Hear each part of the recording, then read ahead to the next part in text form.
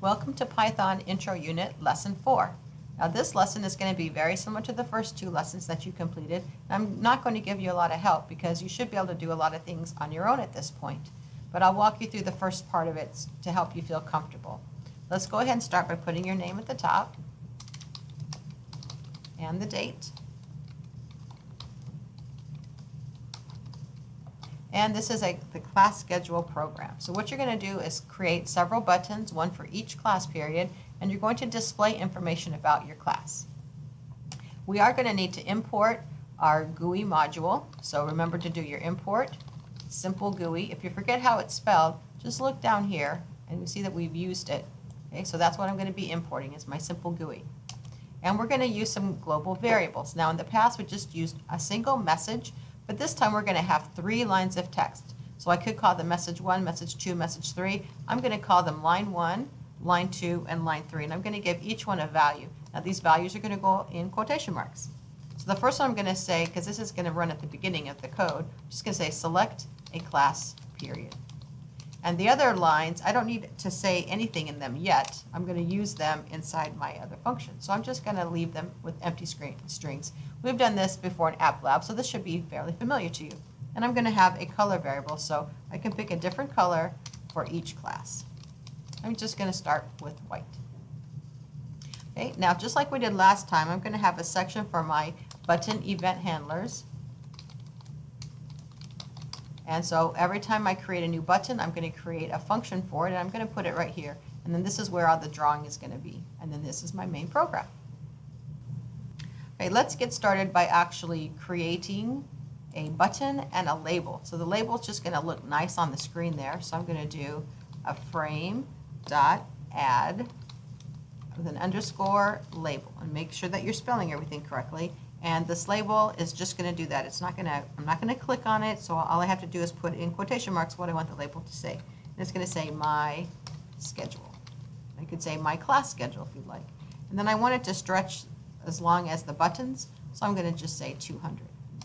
Now I want to add a button. Before I gave you the code, this time you're going to type it, but you're going to do a frame.add underscore button. Now what do you want the, the button to say, like period one or first hour? That's what you're going to put in quotation marks, and then the name of your function. So I'm just going to kind of do a little shortcut. I'm just going to call it like peer one, short for period one. And then I want it to stretch across. So I'm going to have the size of the button. So I have what goes on the text of the button, the function, and the size. Okay? So let's actually create that button, the button event handler for this button. And remember, def is short for define, and I called my function peer1, so that's what I'm going to type up here. I always have to do my open and close parentheses and a quote and a colon. Now notice when I press enter that it already indents for me, and it's going to keep my indenting um, the same, consistent. So if you don't mess anything up and you just go by what, what the computer has, you'll be all right. Now I'm going to be changing the values of these three lines and my color. So I'm going to make them global, and I can just do that all on one line at the top. So I have line 1, line 2, line 3, and color. So when I make the change, it will actually take place. Now what do you have first hour? Let's say that you have my class. So I could say um, period 1, and I could say what room it is. Room 204. Now what do I want to say in line 2? Maybe I want to say who the teacher is or what the class is. So this would be computer science 12H. And then in line 3, I'm going to say the teacher. And I'm going to pick a color. And I like green, so I'm going to make it green.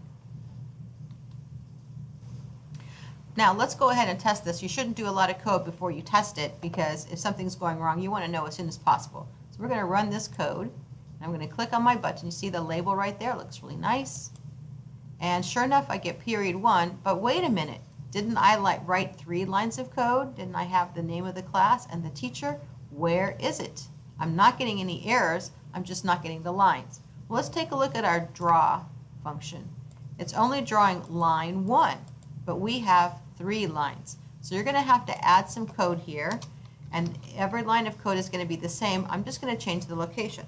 So I'm going to start with canvas draw text, and just be careful if you're typing. Now instead of line one, this time I'm going to say line two. I'm going to do a second variable. Now what I have in square brackets is the location.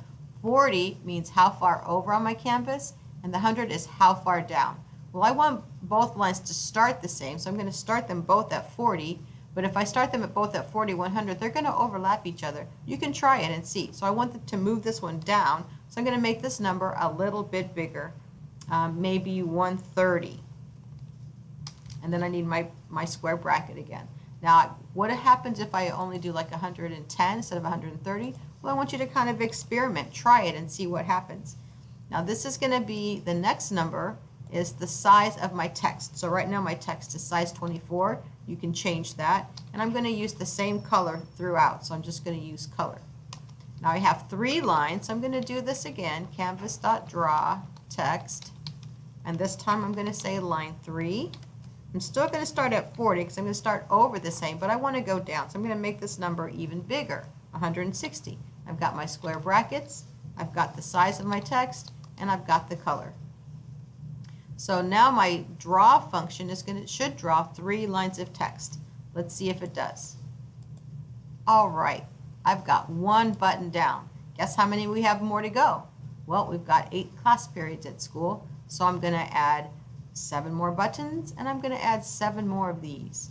I can change the color each time, and even put in lunch, put in your advisory. All those, that is all part of your schedule. So I'm going to give you some time now. You can pause or stop the video and keep working on your program.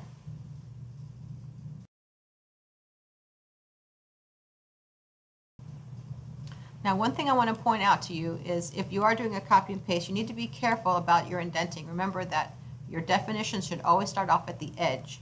So notice if I come here and I just do a paste, so this def is not at the edge, make sure that you backspace it and get it off the edge. Otherwise, you will run into errors, and it can be a little frustrating. So just kind of look for that and also make sure that you change all of your names, that each one needs to be unique.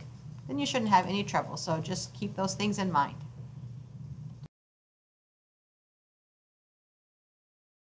Okay, I got my program done. How did you do? When I run it, I'm going to have all eight buttons, and then every one of them works. I changed some of my colors. And if I, I can go in any order, everything works. So this is how yours should be. If you haven't done so yet, you want to make sure that you save this. You don't have to get a new URL, but make sure that you do a save and that you're going to copy this and you're going to paste it into your document where it asks you to. And you're going to do your exit ticket and you are good to go.